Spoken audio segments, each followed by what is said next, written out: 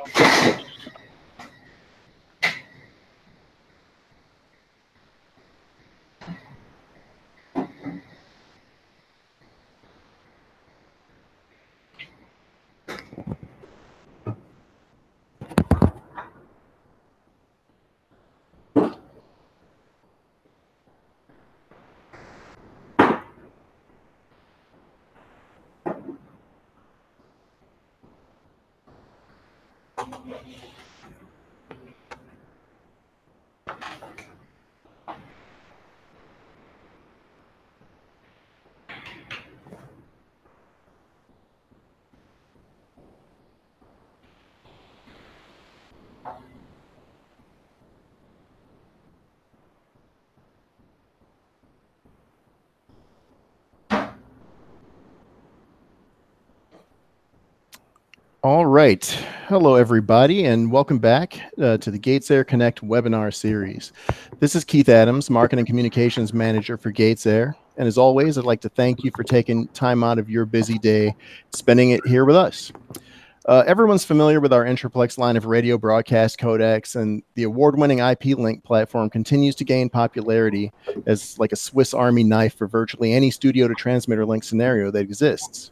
Um, uh, today's webinar is going to be a little different. It revolves around another powerful use for IP link technology, and that would be reliable remote broadcast applications. And a not so secret weapon uh, in in this in today's arsenal is going to play a pretty important part with this particular application. It's called MaxxKonnect uh, or MaxxKonnect Wireless, um, and and its broadcast tailored IP services are just what you need for for uh, excellent remote broadcast stuff. So uh, today's webinar is Intraplex IP Link Plus MaxxKonnect.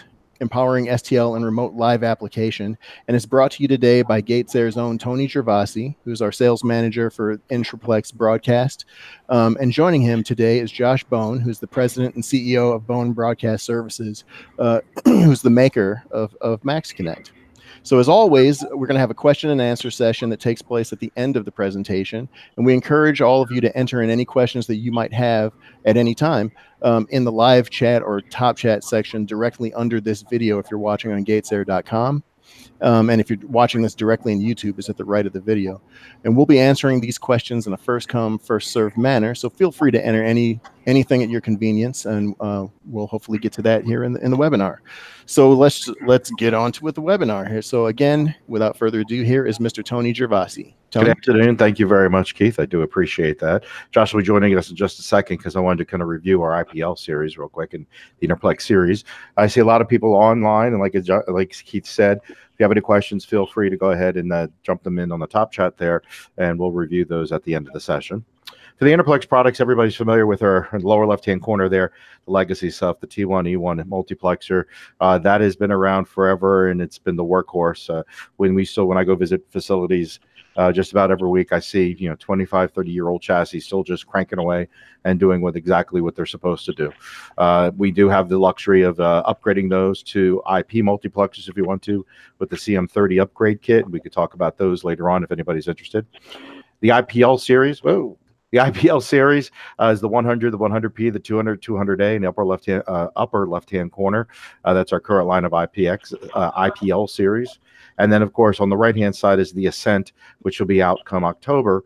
Uh, it was introduced at the NAB show. It's a scalable audio over IP platform supports up to 16 channels of analog or digital, or we can actually do 32 channels of AES 67. And not only is it fully compatible with the IPL series, but we also use a new streaming protocol called SRT, Secure Reliable Transport. Actually won an Emmy Award for new technology. It's really designed around video based, but the SRT is just extremely robust. And putting in audio was just uh, just real easy for us to do. Um, basically, where UD or RTP over UDP is just like someone shouting, and hopefully receiver gets it, and you use you know forward error correction you use buffering to make up for any losses of packet. Srt does have the ability to ask for packets back. Um, it still works as a udp stream but it's uh, it's more like a UD, reliable udp transport. And of course the hdl series our 950 stls true 5 watts of power not uh, uh not uh, digital power, but it's a true five watts of power, uh, and it is an IP. Uh, it is a UDP path, so it's capable of a to doing up to 3.2 meg worth of bandwidth. So not only can you run audio cards on it if you wanted to, but if we ran it in full IP mode, you can integrate it with our IP links, whether you want to run a composite box or audio box or multiple channels, you could do that over our HDL series. The Ascent, we talked about that, built on our IP link codec technology, scalable up to 32 channels and one rack unit. It's going to be available also as a software version. We'll be able to do AES3, analog and AES67 audio multiple to uh, point to multi-point with up to 100 destinations. Uh, network reliability using multiple IP ports, just like we use in the IPL series. Encrypted content, built-in firewall, and of all the codec codecs there, linear AAC, LC, HE, HEV2, all the good stuff that's there. Our key link, our key IP link features are, are, feature keys that are available, different encoding packs, whether you wanted to add additional AEC LCs or MPEG to it. If you wanted to add aptX to it, that's a different coding screen. Stream splicing, this adds stability to groups, whether um, you only need to get this feature key on the deco side.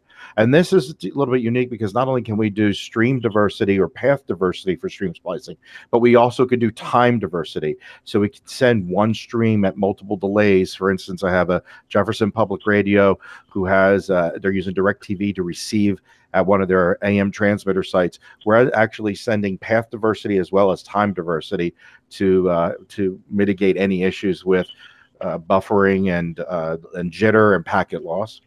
IPNEC, this uh, adds the ability to tunnel external data, whether it's like your E2X data or uh, any other information that you want to pass through with your audio. Live look this is a license. Basically, again, you only need it on the decoder, but it allows you to give you qualitative and quantitative information about your circuit and IP path. Synchrocast, uh, this is a, for SFN networks, or if you're running, uh, and there are some uh, uh, NPR stations and public PBS stations that like to do alternate frequency on their RDS, this comes in handy because a lot of times when you flip from one frequency to another, you could have delays in your stations, and um, uh, they don't like to have that. Uh, stations up in San Francisco and up in the Napa Valley and uh, and Los Angeles that are PBS, they and they do alternate frequency on RD, on RDS. They want the ability to everything be synchronized. So it's not only good for SFN broadcast, but it's also good to keep your all your stations synchronized. And then AES 192 output. Um, this enables AES 192 to be on the decoder, but it also allows our MPX box to talk to our IPL series. We'll talk about that in a little bit. basically, again, uh, our IPL series, every one of them flexible use of HGPIOs, highly integrated, uh, many different applications. Also, easy for us to make minor adjustments for spe- specific changes. Our coder's sitting right in Mason, Ohio, so um, I guess PowerPoint wants to do its own thing. So it, keep, it gives us the ability to add some specific changes on the fly. There's three network ports with firewall capability on every unit hitless protection using stream splicing, hard failover for not only audio but also IP. So we have primary, secondary, and, and tertiary sources. IP Connect multi-coding. This is where we could take one piece of audio uh, in the audio input, and I can send it out different codes. So I can send it linear on one path, uh, G.722 another path, shoutcast another path, and then um, uh, uh, maybe uncompressed in another. Going through our units here, the IP Link 100, this is basically our entry level unit. Uh, this would be compared to a lot of the half chassis units from other other uh, other suppliers. Uh, again, this gives you activity lights, tells you the inputs and outputs, audio monitor, uh, gives you a mirrored Ethernet port on the front, XLRs on the back, and you see you have three Ethernet connectors with USB. The USB can be used to do backup restore as well as to store audio. Eight GPIOs, RS-232 port, and of course uh, we do have dual power supplies where the second power supply can be 48 volts or 12 volts if you'd like. The 100P is almost the same thing as the 100 with the exception of it has GPS inputs for the single frequency network. It also gives you a full active display. The 200 uh, primary is XLR, secondary is using Studio Hub, um, and then of course the GPIOs, dual RS-232 ports, and uh, of course uh, 10 meg per second and 1 PPS for SFN, and of course gives you full VUs and full display. And the 200A, the secondary output here, if you notice that, is AES 67, and that is uh, so all of our units can ingest AES67, but only to 200A could spit it out. And that's going to be on this channel 2 output. So all of them can ingest AES67, and then on the receive units, they would come out as AES3 or left and right audio. And then our MPX series. The composite series allows you to have multiple composite inputs, whether it's primary through BNC analog, or you could use AES 160, uh, AES 192 as your input. Also allows you to inject your subcarriers at your studio if you wanted to gives you again three network uh, three network ports does have the ability for gps uh, internal gps or external gps hgpios uh, this is great if you want to feed composite across your hd link and then you also want the ability to feed audio using our ipl 100 200 so it gives you the ability to to leverage the $15,000 audio processor you have by using composite output or AES192, feeding it to your transmitter site, your primary site, your secondary site, your tertiary site, as well as embedding your E2X data so you can feed HD out to that direction. Or if you wanted to feed audio, you could also feed audio using the IPL series. So this gives you lots of flexibility and it gives you the ability to leverage, again, that multi thousand dollar audio processor that you have. We talked about our composite bandwidth, and this is something unique to the uh, IP link. Um, and and if you look here, uh, we could sample at 132, give you audio and RDS. And we use as little as 1.64 meg. That's the lowest bandwidth configuration out there by anybody that's not using micro. Um, micro is a highly compressed uh, system. This is not compressed. This is linear audio. Um, but we can run, you know, if you wanted to run audio, if you see here on the chart, we go all the way up to basically about three meg. We're uh, compatible with all the IPL series, which means we can go ahead and ingest AES 192 on any of the IPLs and send it out as uh, as uh, AES 192, and we use about 3.2 meg. Again, we talked about using the HD links, allows hitless uh, operation if you were to use this with stream splicing. With the HD link, If you have a 500 kilohertz bandwidth STL license, you run 256 QAM, you're about 3.1 meg worth of audio or worth of IP. So it gives you more than enough to feed E2X data. Uh, you can go ahead and run composite across there and still run audio channels as Opus or AAC, LC, uh, or HE, or however you'd like to run it. New release that's out for the IPL series 3.13. We'll kind of update these, and these go hand in hand with what we're doing with MaxxKonnect simpler stream setup, especially when doing behind the NAT or uh, behind an out router or connections that may be double natting and triple natting, like your 4G connections, DHCP and automatic forward entry configuration, enhanced input selection. So not only allows you to choose between AES3 or analog, but also dynamically choose between those, and the ability to use the second channel as a backup to the primary channel if you're using an IPL 200. Programmable silent detection all the way down to minus 60 and then programmable web port, uh, web server port. So if you didn't want to use port 80 and you wanted to change the port to use, we go ahead and allow you to change uh, change the web pay, uh, port. And then also we use our GatesAir shout, Shoutcast protocol that allows us to transport GPI audios with ent, uh, encoder authentication to your uh, to your streaming uh, company, uh, and especially if you want to do point to multi-point or if you needed a, a reflector service, that's something that we could do using our Shoutcast protocol.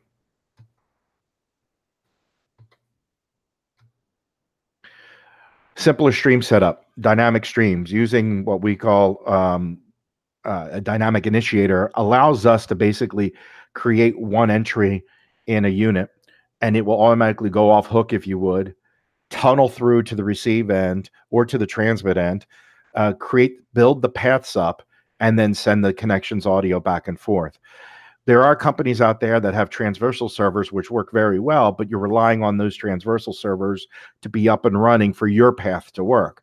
We wanted the ability to tunnel through NATs, but be able not to rely you don't have to rely on us to keep our servers up and running so by using dynamic initiator all you do is set up the configuration once and no matter what dhcp it gets or whoever it's using as its isp it'll automatically create through and uh, and connect to the end and move audio back and forth it also works with forward error correction and stream splicing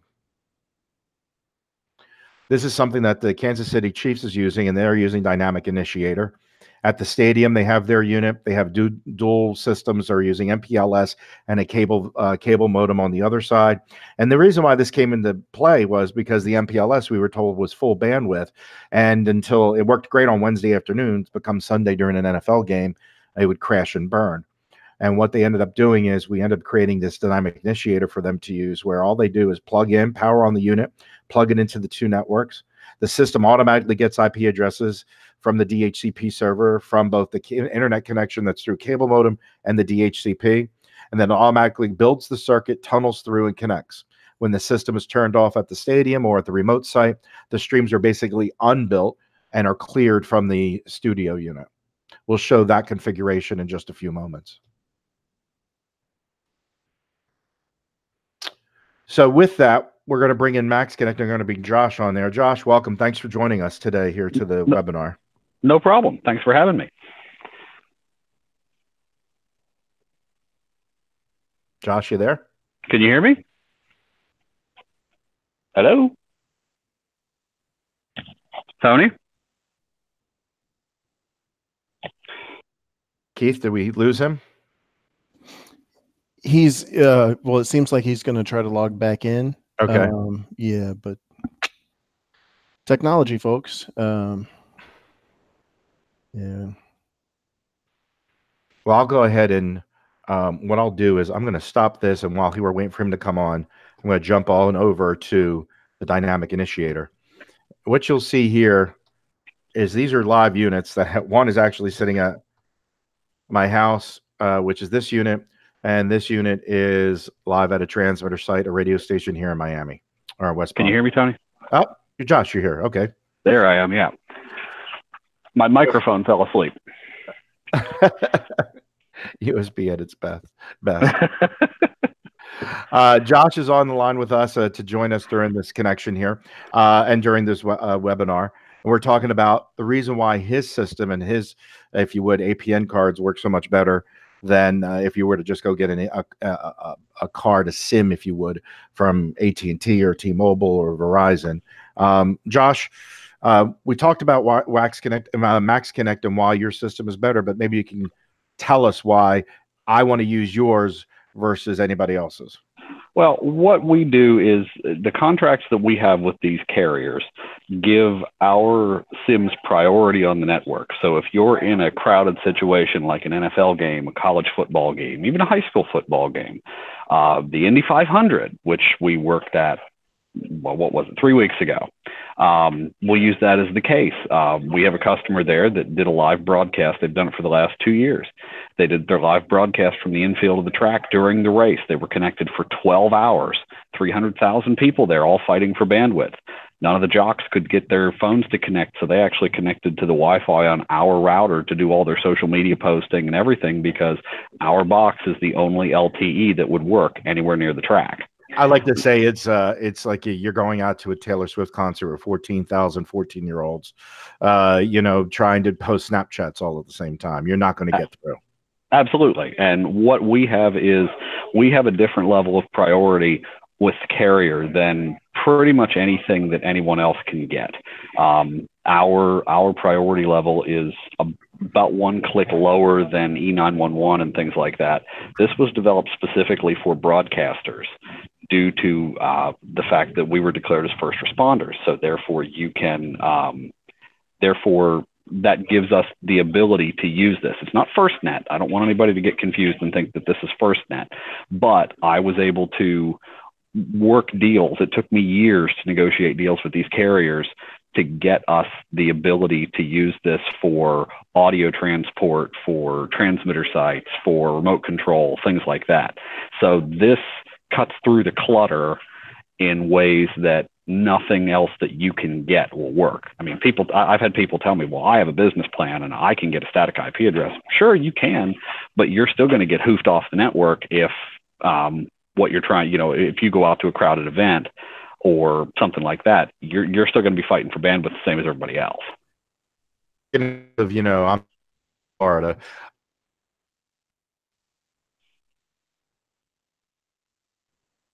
Your product. How's it? It's our first you have because we have a higher um going to get through we have a good chance of getting those uh, how events you know, hurricane I saying the south running to get priority to, to first responders are we on that level um, the, the the priority to the first responders during a hurricane is actually part of FirstNet. Okay. And we're not technically on FirstNet. Now I have optioned FirstNet, and but the problem with doing that is the fact that FirstNet is based on individual agreements with each state, and you have to coordinate all of that and any deployment regarding that through a state EMA. That is a level of complexity that is very difficult and time consuming to navigate. So if anyone decides that they want to go with that, we do have the ability to do that. So you'll get the prioritized SIMs to use normally, but then you would also have the FirstNet option on there, which means that you would also have to use FirstNet compatible hardware. I've not had anyone do that, um, but I can tell you if you would decide to do it, we can do it. It would just be a relatively lengthy process to get it set up. Okay we talked about your system at um, at transmitter sites. One of the options you guys offer is the external antennas. Yes, uh, that is a, and you'll have to pardon me as I'm I'm trying to do this because where I was, my service was horrible, so I had to walk outside. So I'm doing this on my phone now, um, which has a MaxxKonnect SIM in it. So um, the uh, yeah, the external antennas really do make a difference. Uh, about two minutes before I jumped on here, I got a message from a customer who has a site way out in the middle of the woods in south central Alabama, and they uh, they couldn't get any kind of service out there. They can't get wireline service, and they were trying to figure out what they could do to get you know reliable telemetry and backup audio out to there. And I said, well, here, take a MaxxKonnect out there. Well, the first one they tried was on Verizon. Verizon has no service in that area at all, and they're like, this isn't going to work. I said, no, let's try AT&T, and said, here, take these two external antennas out and he sent me a message about two minutes before I jumped on, and it was a picture of the signal meter on the router and a picture of the two antennas outside. and they went from having no signal to minus 69 for a for uh, an RSSI, and they did a speed test on it, and they were getting 15 down and nine up, oh, which wow. is almost unheard of for that site because cell phones don't work there. You know, regular, you know, the Verizon SIM wouldn't work there. Even AT&T cell phones, if you if you look at your signal reading at that site, your AT&T cell phones are down like minus 114. Those external antennas pointed toward the two closest AT&T towers, which are still about 10 miles away, were enough to get him to minus 69, which for an LTE signal is incredibly good. And on the um, the Cradlepoint boxes, I know Cradlepoint has a wide variety, a wide selection of boxes running from a couple of hundred dollars to thousands of dollars. Right. Um, you can put diversity antennas on and face to two discrete cell sites, maybe one north, one south, or east or west, complete opposite directions if you needed to really get two different cell sites up and running. And yeah, and that's usually what we recommend doing if you're if you're going with a single carrier because we do have a dual carrier option, which is actually the box that Tony has in his office there. Um, but if you're going with a single carrier option, I do recommend that if you're going to use the external antennas, that you do use Cell Mapper or Open Signal or something like that to find out where the actual uh, where the actual towers are so that you can aim at two different towers. Because then, if you do have one tower with an anomaly, we had that in Birmingham last year where there was one tower that I had one site that was connecting to. And after months of randomly dropping offline for exactly 12 minutes, we figured out that the site had a bad, um, a bad battery backup system. So every time they would get a brownout, it would reboot the, uh, it would reboot the, the Cisco routers that were out there. So the radios would stay up. They might go off for half a second, but the routers would reboot because the battery bank was down. Well, if we would have had, and this is what we did, we put up uh, diversity directional antennas, pointed them in two different directions, and that hasn't been a problem since because now if that tower goes down, it's pointed at the other tower, so the stream never blips. Interesting. So is this expensive? No, not at all. Um, I mean, I, I, take that back. It can get expensive. It's LTE data. There is no such thing as unlimited LTE data. That's probably one of the most common questions that I get asked is, well, is the data unlimited? No, because even on the unlimited consumer plans that they advertise on TV, the fine print says, we'll throttle you to 3G after 22 gigs. Well, 3G is 144K. So you're not going to get usable data from a 3G phone. Um, but uh, you know, uh, just as a benchmark, you know, a 10 gig plan on Verizon is 129 bucks a month. If you're just using it for occasional audio backup and you know telemetry and remote control and things like that, that's more than enough. That's I mean that's about what you would pay for a DSL. If you if you get more than one plan for for your company or your area, like plans pool. So if you have uh, you know, if you have six 10 gig plans, you don't have six individual 10 gig plans. You've actually got 60 gigs aggregate in a pool. So if you have one site that needs to run, you know, full time audio on it because it's your big money maker and you want to run that as your backup all the time, my benchmark is 64K stereo streams running 24 7 burn about 26 gigs a month. Yeah. So you would need, you know, a 30, 30 gigs minimum to not incur any overages. So if you had three 10 gig plans, um, and you used one, uh, you know, you used one for occasional remotes. One was at a site where you were just using it for remote control, and one was at a site that you had to run full time audio, and that was what you were doing. Then you have enough to cover your uses, and you're probably not going to incur any overages unless you did have to run long form or high bandwidth audio over it. So, you know, 10 gigs on Verizon is 129 bucks a month. 10 gigs on AT&T is 109 bucks a month. So AT&T gave me better pricing, so I passed that on to the customer. So, you know, if AT&T is available in your area, there is a there is a, a $20 difference on 10 gig plan. You know, 1 gig on Verizon is 69 bucks, 5 gigs is 99. If you need more than 10, you know, we we structure custom plans on there um, to be able to make that happen. But I encourage people to, if you need more than 10 gigs, to just bundle the plans together because you're not going to save much by getting 30 or 40 gigs on one SIM. And actually, you're probably not, yeah, you're pro- you might save maybe 5%. But I always try to encourage people if you need a large data pool, get multiple devices. Even if you just keep the SIM cards or a USB modem or a stack of USB modems in your desk drawer, at least you have them. And then you've got that prioritized internet that you can take out and plug into to some device that you may need out of a transmitter site. You know, if you pick up a Cradlepoint router off eBay, you can shove a UML 290 modem into it and our service will work. If you want to provide your own Cradlepoint routers and don't buy them from us, we will gladly just sell you the SIM cards. This is, you know, the nice part about this is you don't have to deal with carriers anymore. You deal with us. We're a small company. We've been broadcasters for 25 years. If you call, you're probably going to get me or one of my two guys. And I mean, we have more people that work for us than that, but I have, you know, three specific people that are dealing with the MaxxKonnect product right now. That'll grow over time, but we're not the behemoth of AT&T or Verizon that you have to worry about. Well, no, that's this department. Oh, well, no, now we have to transfer you to this department. And you, you beat your head against the wall for, you know, two hours trying to get to the right person, and then they still can't help you. Right. And there's also with Cradlepoint, there are some of the devices that run off of 12 volts also, right? They have a 12 volt option on some of the. Uh, actually, actually, all of Cradlepoint's devices will run off 12 volts. That's the that's the cool thing. I've actually got an AER 1600 router mounted in my vehicle. That's a that's the the IoT branch router. It's not even designed for mobile, but I've got that mounted in my vehicle because it has the built-in Wi-Fi and it also has the option for the dual modems. So I run dual carrier in my vehicle when I'm going down the road. And if and, you're in your remote vehicle, you can run that as a as a 12 volt. And you can run the the IP link as a 12 volt and have a system that's you know basically mobile, ready to go while you're driving. Right. And we've also, you know, that's the thing. We've also got a battery pack that is a it's a 24 volt charge, 12 volt discharge. And you know, we we showed that at NAB, and it's it's not on the price list yet, but it's there. we we've been doing some more testing on it. But um, you can actually go completely wireless.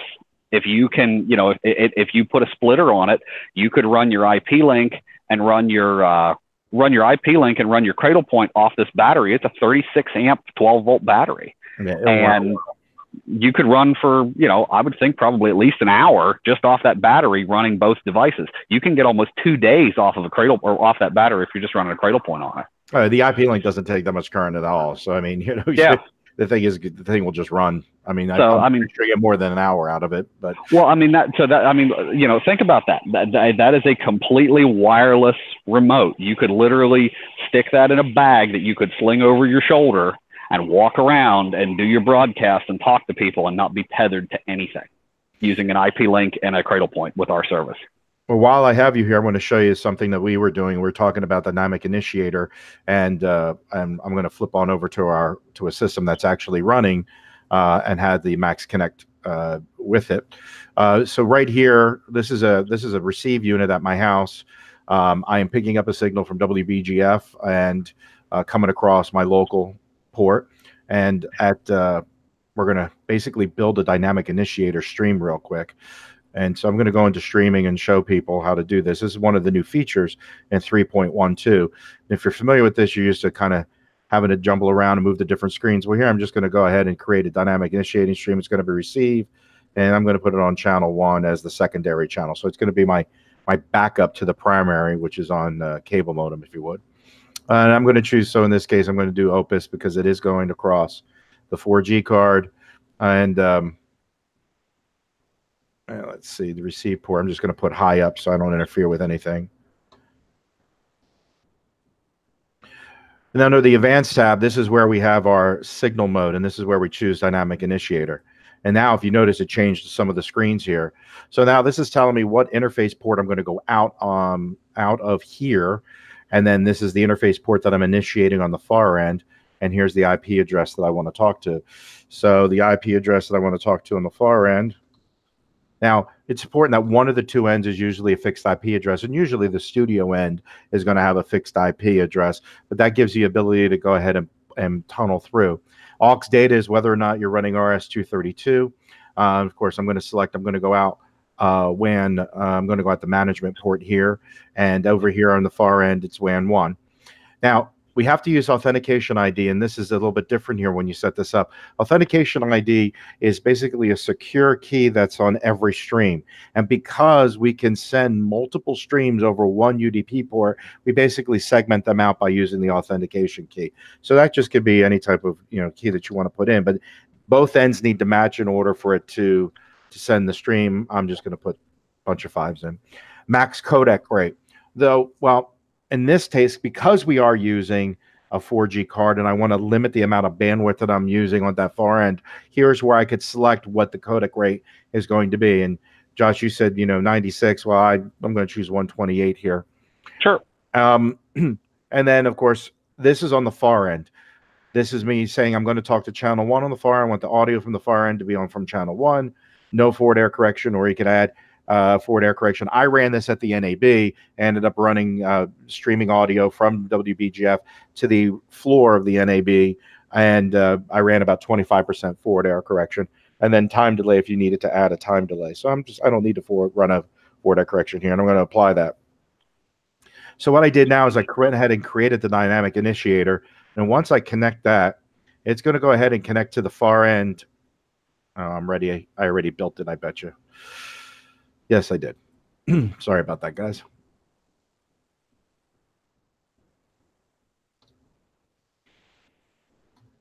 Now, something else to keep in mind while you're reconfiguring, Tony, is on the MaxxKonnect, they all include a static IP address. There's nothing special that you have to do to get that.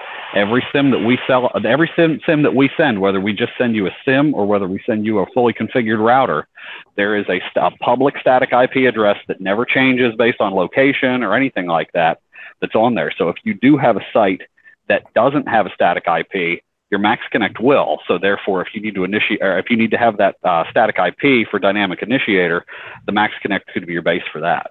Right, and your Max, and you're using your Cradlepoint to send. Uh, it has uh, sending out DHCP, Correct. DHCP. Because if you notice here, you on the Mac, this is the MaxxKonnect modem. It's giving me a one oh not O dot one ninety six uh, that I'm using to actually talk to the outside world. Uh, so that's yes, it has a fixed IP, but I'm using the Cradlepoint in DHCP mode. Right. Okay. So now, now that I built the dynamic initiator and the stream connected, you can see right here a DR for that's a dynamic receive uh, for the dynamic initiator being sent to my local IP address through WAN one, and here I'm receiving it. So it's a man in a backup, and you can go ahead and alarm these. So you can say if this alarm, if this fails, this will automatically initiate connect and stream over. And it takes about five seconds for it to build up, tunnel up, build the streams, and reconnect. But the good thing is, if you want to send this box out, if you want to send a 100 unit out, which again is you know our entry level unit, you want to send that out in the field with a MaxxKonnect, you can pre-configure this. So as soon as it turns on, it's going to go connect to the far end and give you your audio back and forth. And that's one of the neat things about being able to run the MaxxKonnect box with Dynamic Initiator is that you're up and running immediately. There's no, oh, I got to go log in and set this and set that. Once you set it, it's, you know, what's Ron Popeil say, set it and forget it. Well, absolutely. That's what you do here is you set it and forget it. And um, some of the other features in 3.12 we talked about is being able to go ahead and set the web port, whether there it is on, if you wanted to change the, uh, the web page configuration. Uh, before we had to make entries in the forwarding table. Now you don't have to because once if you set the gateway it will automatically make the entries in the forwarding table for you. Uh, so that kind of saves some configuration issues. Uh, some and again once you build it it's there. Um, and also uh, setting up um, uh, upgrading is easy just by doing your upgrade firmware. You could do it from a usb stick or you could do it right from uh, right from the computer itself. So 3.12 is available. You can contact me directly if you're for your IPO.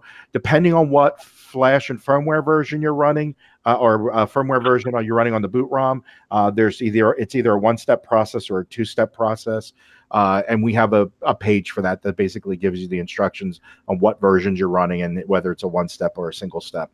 But um, we're going to open it up to Q and A's here in a few seconds. Uh, but Josh, I want anything else you wanted to touch about real quick before we go to Q and A? I think that covers most of it. Uh, you know, if anybody has any, if anybody wants more information, you can always log on to uh, to our website, uh, MaxxKonnect Wireless with two X's and a K, or uh, bohnbroadcast.com. There's a little form on there you can fill out for more information. Excellent. And let's see if we have uh, any Q and A's here, Keith. So yeah, um, really, again, if anybody is there on the line, uh, filling out the live chat or the top chat section below, that's where you can put in some questions. Um, we'll answer them in a first come, first serve manner. I know there's at least one. Um, and uh, just a little bit of housekeeping, real quick. Uh, this this webinar is going to be available here on gatesair.com and on our YouTube channel later today. So the same links that you use to view this live presentation are going to work for viewing the recording if you ever want to come back and and uh, kind of review this for a little more detail. And in addition, we're also going to be adding this webinar to our educational video library at gatesairuniversity.com, which is our online hub of lessons and webinars about broadcast engineering. Um, we encourage you to visit and browse through a lot of this great material. Um, we're, we're trying to make it uh, bigger and better as time goes on. So any kind of topics that you have for us for future webinars or things you'd want to see um, to help you in your broadcast needs, run them past us for sure. Keith, if um, I remember correctly, these webinars are good for a half a credit for SBE recertification, correct? You you remember entirely correctly because that's uh that's probably one of the best things about it is that it's not just something to look at. Um, of course, it is great to always learn, but yeah, the, the the beauty is for sure this does help you for SBE recertification. Um, every every webinar, including this one. So um, so yeah, that, that's that's a great point. So thanks, Tony. So yeah, um, on to the questions. Um, there uh, earlier on, um, GBS one zero four three. Um, I'm using the you know the the Google account name, so that one was pretty easy to pronounce acronym and number. But GBS 1043 asked, um, how reliable would you say the system is, and, and do you need a backup system? And I think that that was prior to really you guys getting into the meat and potatoes. So are they talking I, about uh, talking about the, uh, the the MaxxKonnect cradle point combination, the IPL combination, or a little bit of both? I would I'd say a little bit of both because this was prior to you even getting into um, the details of those systems. Well, I know with you know um, one not only am I the sales guy, but I'm also an end user. I have three radio stations that I use the IPL series on. Um, the IP links are, you know, three Ethernet ports, dual power supplies. Um, you know, their appliances, uh, they're designed to work as, you know, 24 7, 365. Um, you know, these are robust boxes. I mean, Intraplex is known for its reliability. Um, you know there are as with softwares we're constant software we're constantly doing upgrades on the units to make them better. Mm-hmm. um, are there are there you know do, do failures happens of course i mean failures happens with every with everything. Um, but you know they're minimal. And and if somebody wants to have backups sure. Um, we have large installs. I we have los you know los angeles um, i was running a a lot of these systems and across major network across all the the major companies in LA, uh, Boston, Philadelphia, uh, in combination of IPLs and HDLs. Uh, you know, if your station has the luxury to have a backup, sure, you you know you definitely want to have another path. Uh, but these give you the ability to do that also. In the IPL series, you know, there's three Ethernet ports, so you can have you know you can use MaxxKonnect as a tertiary or a secondary, was with your MPLS or your Comcast or your your you know charter as your primary. Um, so that gives you the ability to have multiple paths. And with stream splicing on the IP link series, if we're receiving two audio sources coming in, you know, um, uh, two different paths or th- three different paths, we could stream all, we could splice all that together and give you one contiguous output, what we like to call hitless operation. So mm-hmm. we have stream redundancy and stream splicing available. Stream redundancy is two di- two dissimilar streams. One, let's say, one compressed, one uncompressed. One's a main, one's a backup. If one fails, it automatically flips over to the other immediately. You can have both of them nailed up at the same time. It'll be a one second switch over. Um, so, and a MaxxKonnect, you know, the Cradlepoint boxes, I've had Cradlepoints for for a long time. They're reliable. I, Josh, have you seen any Cradlepoints fail? No, I, I mean, I've had a few that have, you know, if they were physically damaged, they would they would still work, but they would fail eventually. Um, but uh, you know, as far as MaxxKonnect, there's no magic in the hardware. Uh, you know, it, it's all in the service And you know the the carriers, you know Verizon, AT and T, T-Mobile have invested billions of dollars in keeping their networks up. So your mean failure rate is minuscule compared to most wireline services. Because you know how often do you lose data to your cell phone in an area where you normally have data to your cell phone versus how often does your DSL go out or your cable goes out or even your T1? I mean, it you know that's the thing. The T1s I, I've had guys tell me, "Oh, T1s are tariffed, and you know they have to fix them within the SLA." And blah. well, good luck finding somebody that's actually going to be able to know how to fix a T1. You know that's why that's why GatesAir has developed the IP links, and the original you know T1 E1 intraplexes are going away because T1s are expensive and they're not nearly as reliable as they used to be. Well, Our they, service stays yeah, up in in you know, most cases whenever you would normally have service, not to mention the fact that if a tower goes down or there is an outage, you know the carriers are working on it immediately because if you don't have ser- service, chances are 10 to 15,000 other people don't have service and they already know and they're working on it. So there's no tickets that you need to put in. You just have to understand that the carriers, the carriers, when they do have failures, which is usually rare, um, they're going to get it fixed within an hour or two maximum.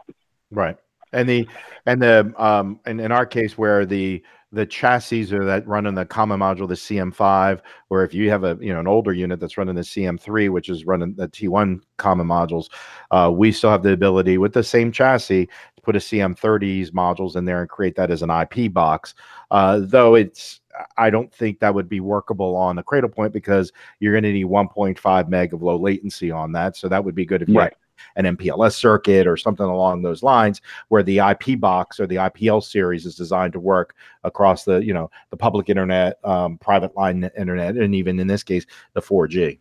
Right. All right. Um, Eric Schechter asked uh, what flavor of AES 67 is supported, um, and specifically, he was pointing out, um, wondering about Dante. Well, it's a it, it is AES 67 compatible. So it will talk to anything that will talk AES 67. So that would be your WheatNet and your LiveWire and Dante and Ravenna and all that good stuff, as long as they're they're, they're AES 67 compatible. We are not, you know, specific to a particular brand uh, using all the hooks, if you would, if you're using like the WheatNet box or a LiveWire or what have you. Um, uh, but if it's talking AES 67 and we got the IP addresses back and forth, we will talk AES 67. Awesome. Um, KAXE engineer um, pointed out that um, they don't see the version 3.1 um, uh, on the GatesAir website, uh, you know, for the. Uh, Drop me an email directly. I will go ahead and send you 3.3.13. Uh, uh, again, uh, there's some specific uh, uh, uh, specific instructions we need to send with that. And I'll also make sure that I get someone from tech support to put it up on the web page so you can it can be downloaded. I would say give me a day or two for that to happen. Awesome. Um, Ghostwriter 6699 uh, just says excellent demo, guys, and thanks. He has to run to another meeting. Um, and, and, Eric also said thanks because he has to run. Um, Roz Clark had a question about whether there were any plans on supporting UMPX? Micro MPX. No, probably oh, not. Oh, micro. Um, micro, micro MPX is what 320k. It's highly compressed. Uh, you know, we we we pride ourselves on having the lowest bandwidth out there for running AES 192, which is you know 1.62 meg or 1.64. Um, and you know, and that is uncompressed audio. So I don't foresee us doing micro MPX uh, you know, stereo separation, all of that stuff. Uh, when you start taking away, suffers. So uh, we wanted the ability to have as clean clean as audio as possible and the lowest data rate. And uh, you know, and I think everybody else is up in the three meg, and we're you know we're the lowest with the six four. Again, that is uncompressed. Uh, we're not we're not compressing the audio to make it. Uh, the three, you know, the 380 was it 364, 380k for the micro. I guess there's a market for it, but I don't see us. Um, I don't see us supporting that um, for that for fidelity reasons. Um, uh, there was another, I saw one other question. Oh, email. Uh, it's tony.gervasi at gatesair.com, T O N Y period G E R V A S I at gatesair.com and I was cool and decided to type it in for people if oh. that's all right. That works. So, um, so yeah, um, yeah. And in fact, I see that it is. We're getting right. We're pretty close to the uh, to the three o'clock point here, Eastern Standard Time. Um, it's great you guys have the contact information here on the screen.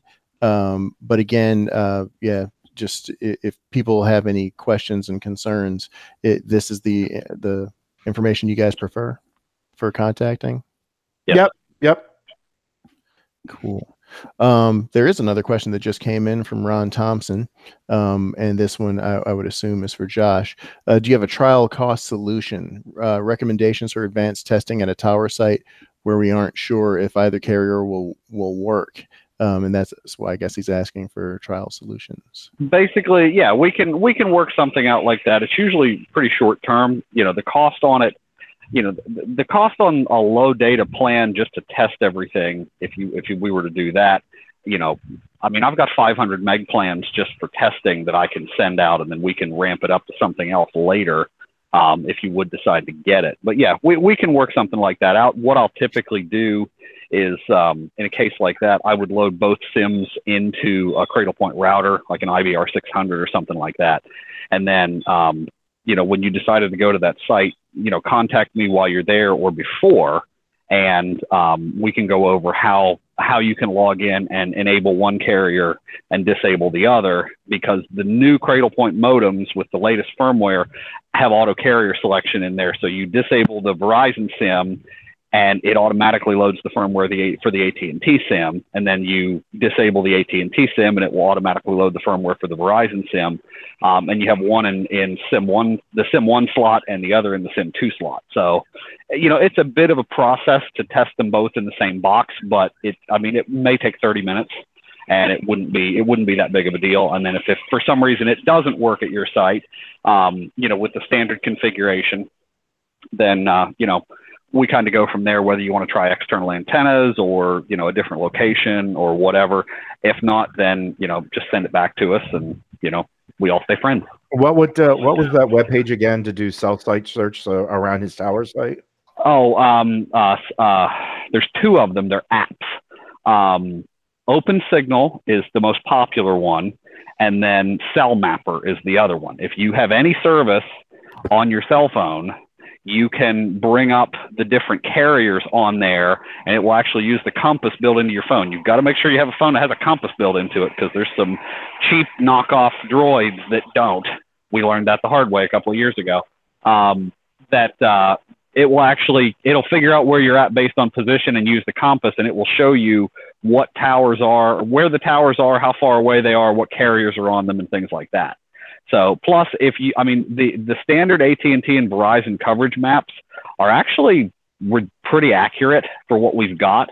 And I've had customers pull in signals from you know up to 25 miles away using directional antennas mounted you know 20 feet up the tower. As long as you can clear the tree line and the horizon, then you know you can you can hit a signal with a, a 17 dBi Yagi pointed at a cell site.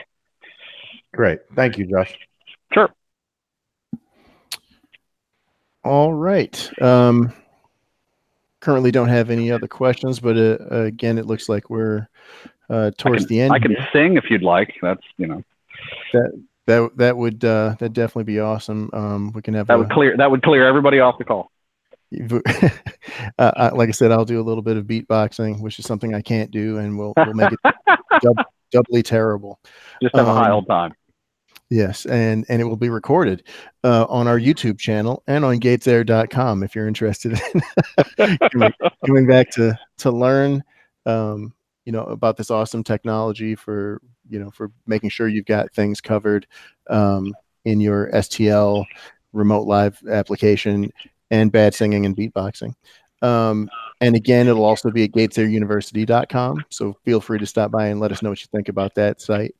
Um, we're also uh, uh, in a few weeks here, we'll give you a little bit more information um, on an actual date and time.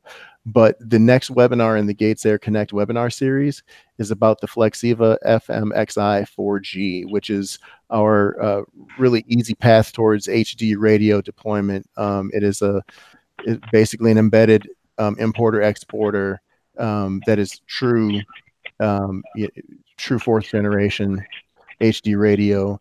Um, we work with Xperi uh, to make sure that it's it's it's real and and uh, really easy to deploy and powerful. So yeah, that will be coming up in mid July, and we'll make sure to send out some information about that.